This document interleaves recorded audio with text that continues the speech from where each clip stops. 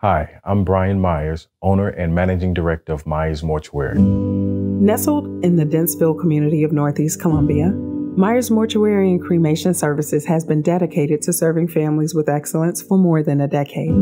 We take great pride in creating an atmosphere that provides the attention, care, and guidance families require during the loss of their loved one.